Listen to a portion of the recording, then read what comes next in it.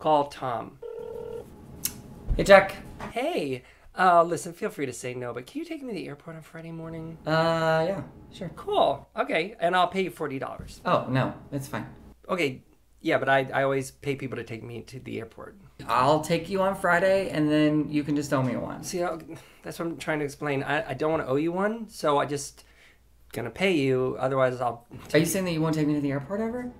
Yeah, correct. What if I needed you to pick me up after a really long trip? Yeah, no. What if my wallet was stolen and I couldn't get a cab? Okay, what if there's a tornado? I don't know, Tom. Maybe I'll pick you up in that case. So even though we're friends and I'm I'm saying I'm going to do a favor for you as a friend, hoping that you would do a favor for me as a friend, you would not. I would totally do you a favor, just not the airport kind. It's it's just a policy I have. I want to drive you to the airport, but I don't want your $40. and I would like to thank you for that ride, and as a gift, I would like to give you forty dollars. So I am offering to do something nice for you, hoping that one day, maybe in the future, you would do something nice for me. Is that too much to ask? Oh, okay. So you're only nice to people when you know there's some kind of return upon your investment. No, I genuinely like doing nice things for people because it's called car. It's fucking karma. What goes around And- and- comes around, or do unto others as they. I, I don't know. I, I didn't read The Secret. I just watched a fucking movie, okay? But I had no idea that I was friends with such an awful person. Okay, so I'm an awful person because I don't want to drive you to the airport. I am willing to pay you almost as much as a cab driver. If you were really my friend, you'd take me to the airport. you don't need a ride.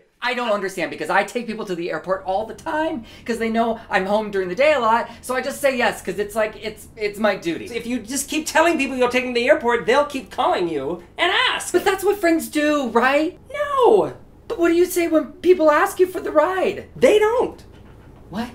If, if, if you say no enough times, then people just stop asking you. So that's I created a reality where I'm the guy that never gets asked to take people to the airport, and I love it. You know, haven't you noticed? I guess I don't really ask you to take me to the airport. But you used to. Yeah, but then. that's be- Huh? that's really messed up. No, no, it's called uh, smart. I'm smart about these things. So, can you take me to the airport and I'll pay you forty dollars? Yeah.